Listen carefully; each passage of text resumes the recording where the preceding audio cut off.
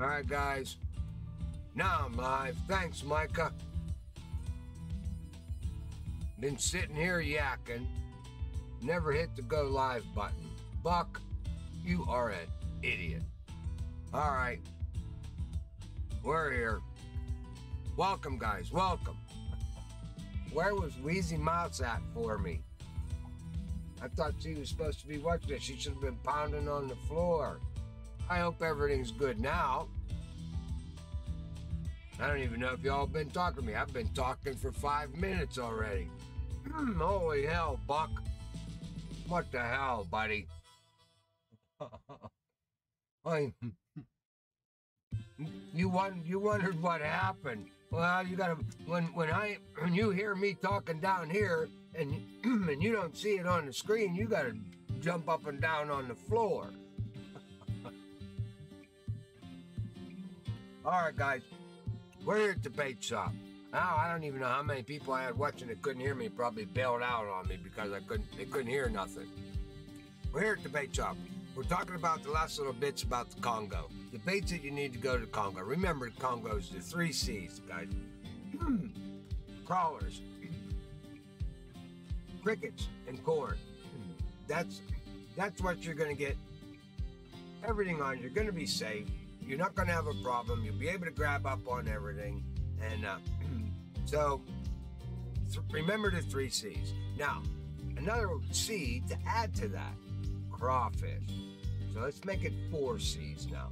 Because you, if you look up on my screen there, what I've got there is I decided one day I was going out there with crawfish and I was going into the, the hole that I always fish out over there where we get all the catfish out of there, we get the Nile perch out of there, we get everything. It's just that one hole that it, it, I stay there every day and just level up. Well, I took I hit that same hole with crawfish. Caught nothing but Nile perch. Nothing but the Nile perch. And a couple of nice size one on the crawfish too.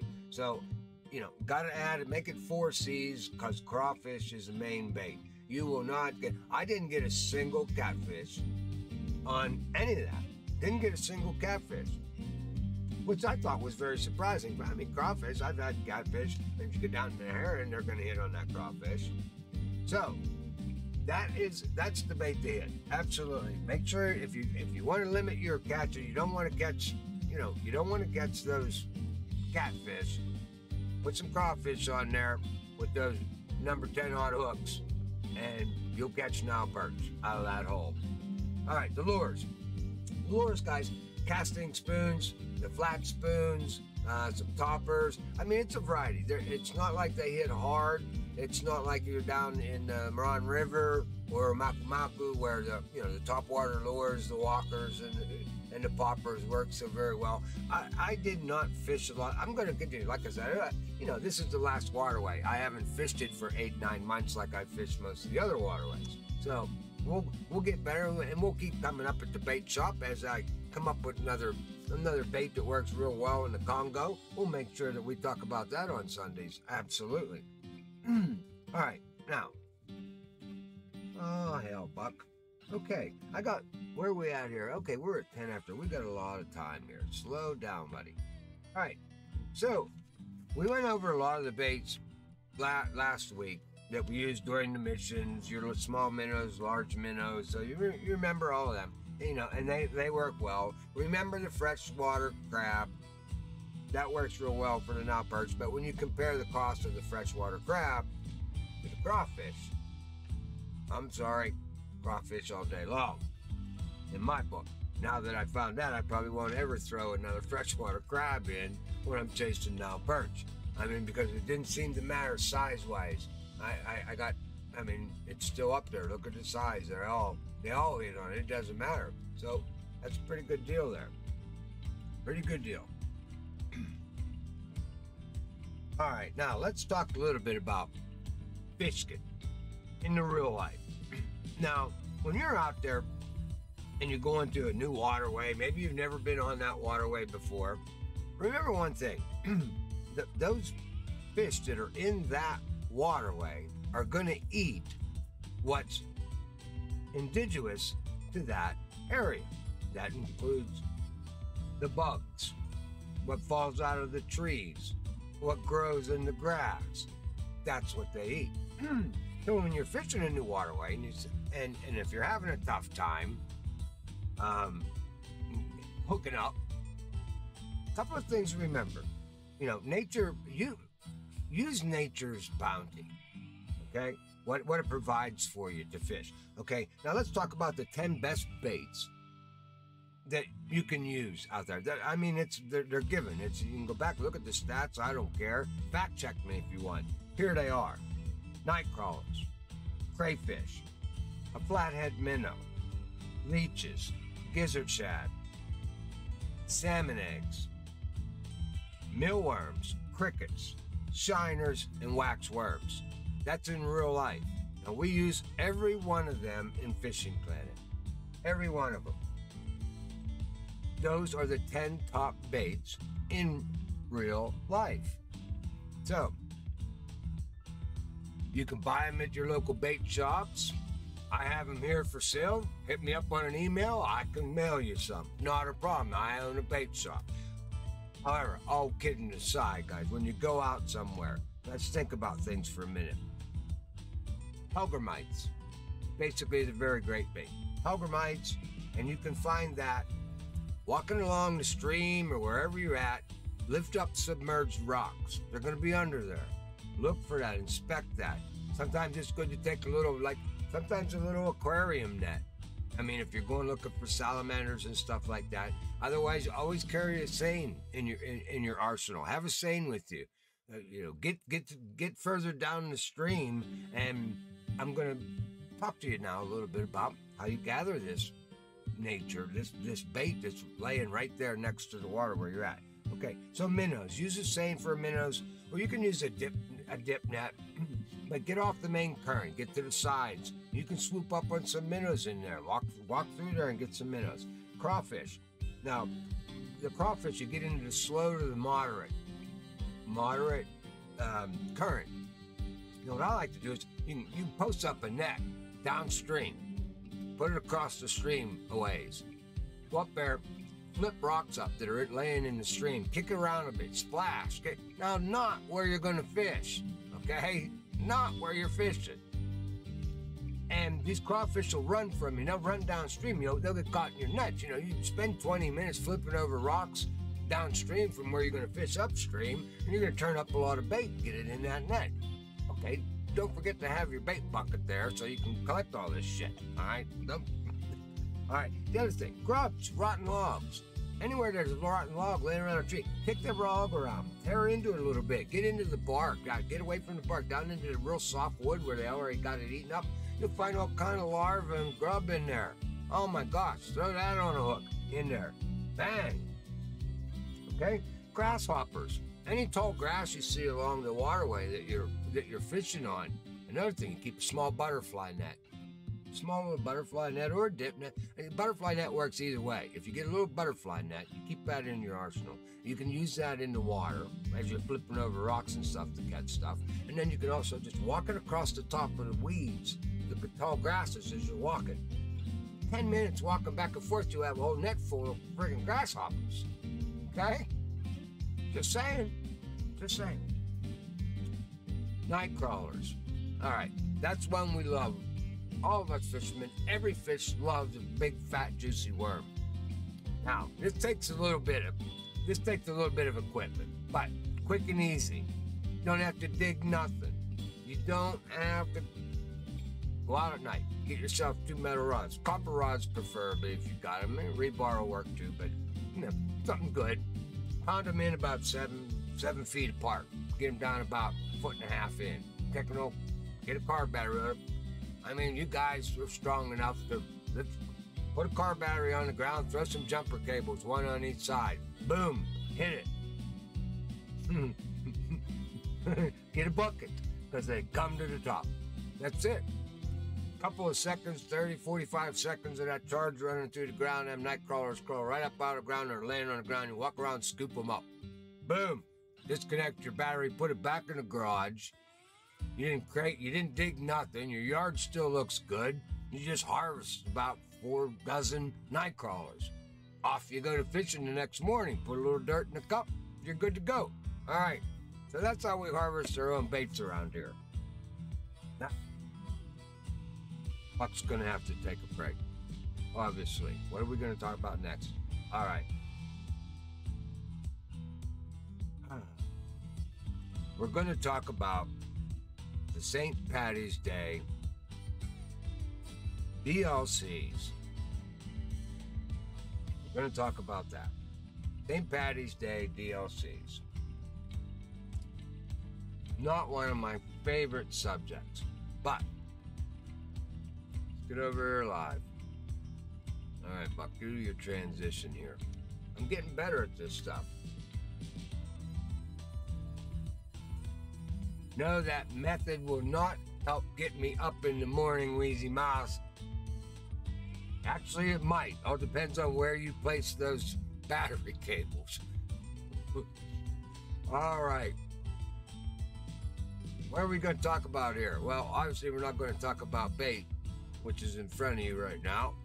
We just talked about that. Why do I have my screen like this? Well, I'm going to tell you, fellas. I'll tell you what, let's start.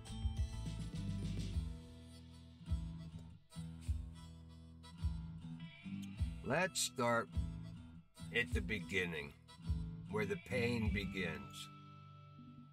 We're going to start where the pain begins, fellas.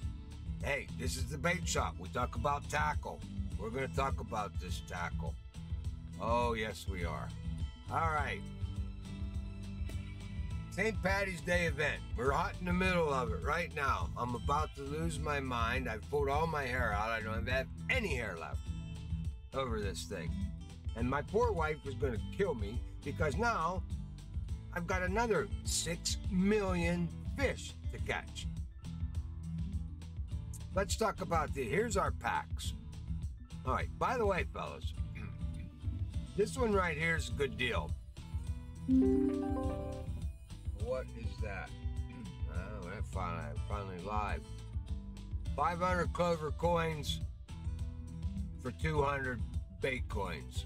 Now, hopefully you guys have been saving up your bait coins, not spending them foolishly, only spending them on marker buoys and expansion. That's it. And barbless hooks, by the way. You got to do that. Barbless hooks. Don't fish without barbless hooks. XP, guys. XP. All right, this is it. 500. Get that. If you if you got 200, get it. I don't care if you've only got 700 bait coins left. Buy that if you're going to do this mission.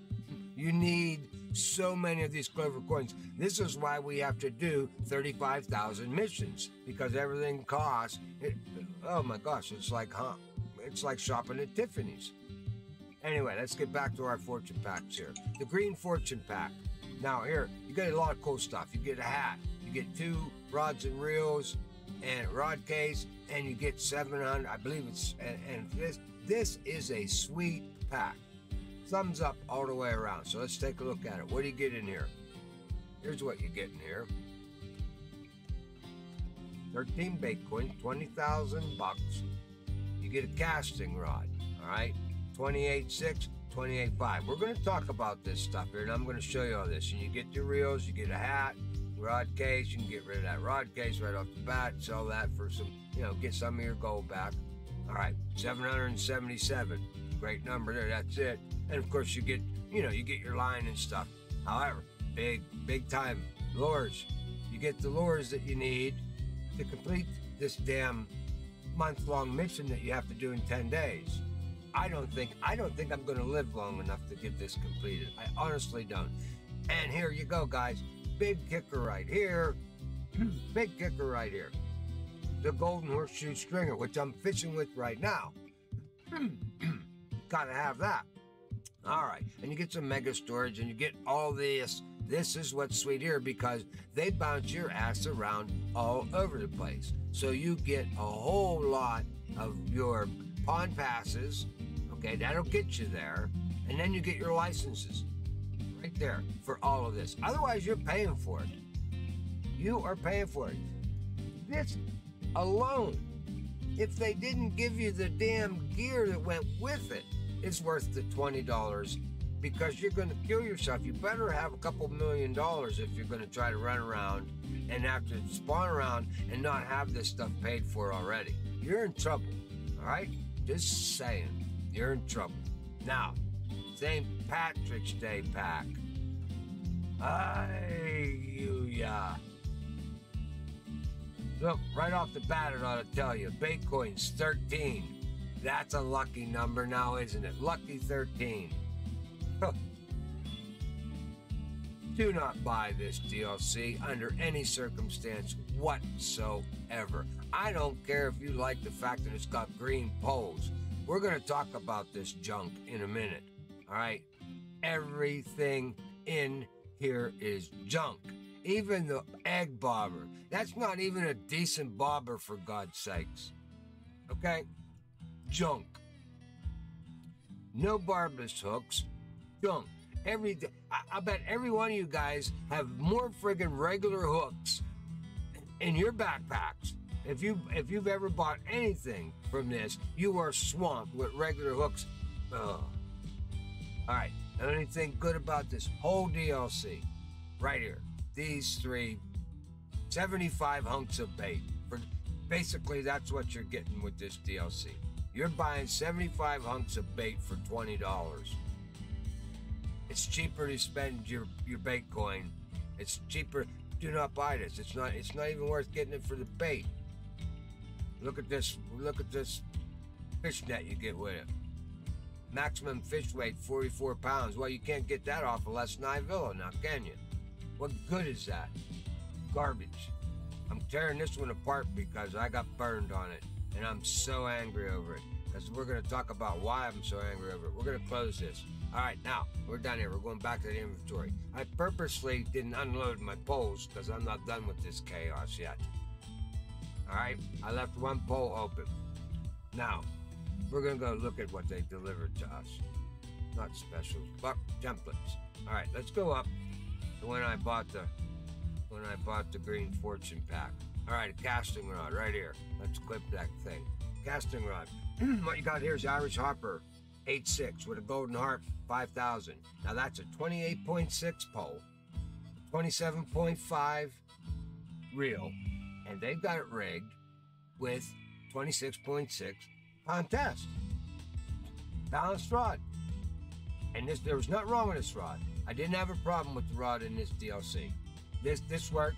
I, I brought snakeheads in with this. Um, it was fine. Um, it's a hell of a fight. You know, you're not going to just yank them in, but you can do it and it's comfortable and it won't get your blood pressure up and you won't go nuts. Okay, so now let's get rid of that one. That was that was the casting rod that came in the Green Fortune pack. Then you also got the spinning. You got the spinning rod. Let's equip him now. What do you got here? Now you've got 28.5 on the stick. You got 28.6 on the engine. And is that match nice, huh? And what are they running for test? 28 pound, perfectly matched rod. Perfectly matched. Nothing wrong with this weapon. Nothing wrong with it. It works well. In fact, I bought it so I bought it way back, way back when, and I've fished with it throughout the year because it's a beautiful 28 pound, perfectly matched weapon, and it works. Didn't have an issue with this stick whatsoever. However, it's a spinning rod. You're not fishing for these event fish with this rod. This is for the snakeheads. Or you just use it as a spinning rod when you fish anywhere else. It's a very nice rod.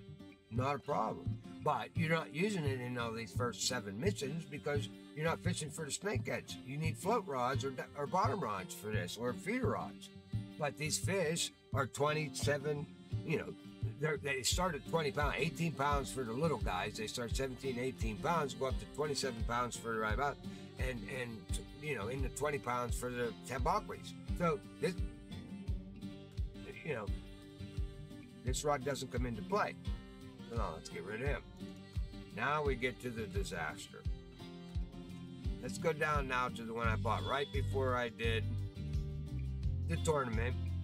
I waited this long God, I wish I would have bought this thing sooner uh, and I would have figured this out before. But I bought it the day of the of that this started, and I just grabbed the stuff the way it was equipped, and I started into it. Let's take a look at what they give you here.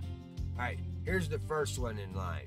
Now, this is the Irish Clover 910 with a Lucky Shamrock 6500 on it. Right? That's a 35 pound stick. They put a 28.6 pound engine on it. It's like seven pound difference. Okay, now look at it. And then they put 25 pound line on it. That's a 10 pound difference between the line that's on the friggin' engine and what that rod can handle. Who who built this? Who built this? Zebco. I, I don't know. And I take that back because Zebco's actually not bad, not, not a bad weapon. I mean, this is, I, I, I don't understand that, not one bit. All right, let's get rid of that one. Let's go to the next one. Now, these are all match rods. This is what you need to fish for all of these damn critters with the hats on. Look at the match rod, the next one in line. Now, this is a 34 pounder. Now, when you look at this and you say, oh, 35 pound, 34 pound, that should be perfectly fine for catching 18, 20 pound fish. Hmm. But no, because they're not using that rod. If you watched my videos, you saw how unbalanced those lines were, how the rod wasn't even working, and the line was getting beat to death, and you couldn't put the drag up to even use the reel and the rod power. So here we are 34 pound rod. Look at this 26.4 pound engine on it. I want you to see that together.